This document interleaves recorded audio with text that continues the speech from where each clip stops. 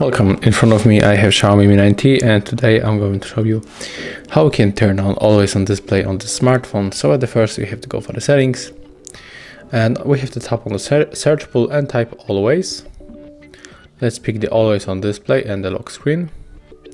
Let's tap on the switcher and then go to show items always. And right now we are also able to adjust notifications. So he, he can add something like that or the starlight. When we receive the notification, we can also light up the screen. We can set the right. So there's a couple of the cool things that we can set up. Uh, here we got also other things, but that is from the lock screen. So uh, let's go and just turn off the device. And as you can see right now, here we got the always on display. Turn it on. So thank you guys for watching. Leave thumbs ups, comments and subscribe to our channel. See ya!